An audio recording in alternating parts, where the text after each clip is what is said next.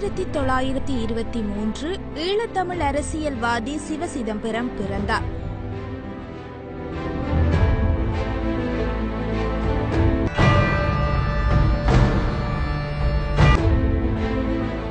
ஆயிரத்தி தொள்ளாயிரத்தி அறுபது இலங்கையின் பிரதமராக ஸ்ரீமாவோ பண்டாரநாயக்க தெரிவானார். இவரே நாடொன்றின் தலைவராக தெரிவான முதல் பெண்ணாவார்.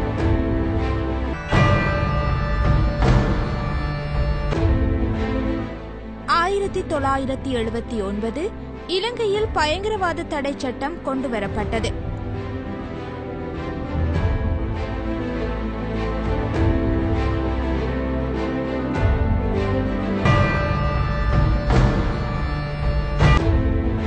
ஆயிரத்தி தொள்ளாயிரத்தி தொன்னூற்றி ஏழு ஐக்கிய தேசிய கட்சியின் திருகோணமலை மாவட்ட நாடாளுமன்ற உறுப்பினர் எம் இ எச் மஹரூப் சுட்டுக் கொல்லப்பட்டார்.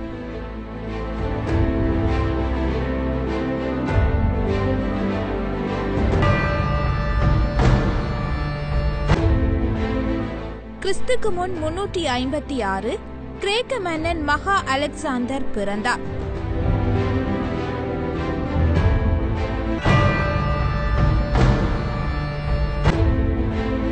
ஆயிரத்தி தொள்ளாயிரத்தி பத்தொன்பது எவரெஸ்ட் சிகரத்தை அடைந்த முதல் மனிதர் நியூசிலாந்தின் மலையேறி சர் எட்மண்ட் கிலரி பிறந்தார்.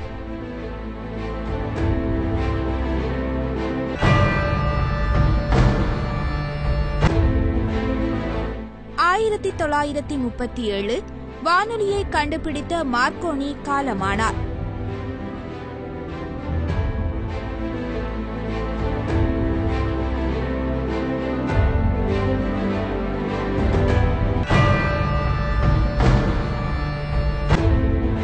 ஆயிரத்தி தொள்ளாயிரத்தி ஐம்பத்தி ஒன்று ஜோர்தானின் மன்னர் முதலாம் அப்துல்லா ஜெருசலேமில் வெள்ளிக்கிழமை தொழுகையின் போது சுட்டுக் கொல்லப்பட்டார்.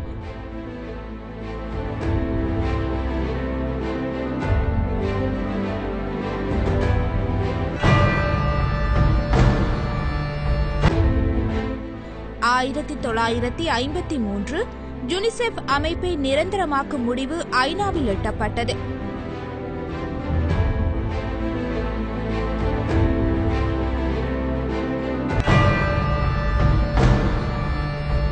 ஆயிரத்தி தொள்ளாயிரத்தி அறுபத்தி ஒன்பது அப்பலோ பதினொன்று சந்திரனில் இறங்கியது.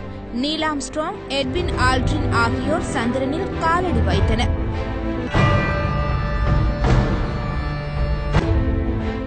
ஆயிரத்தி தொள்ளாயிரத்தி எழுபத்தி மூன்று தற்காப்பு கலை வல்லுநர் ஹாலிவுட் நடிகர் புரூஸ்லி காலமானார்.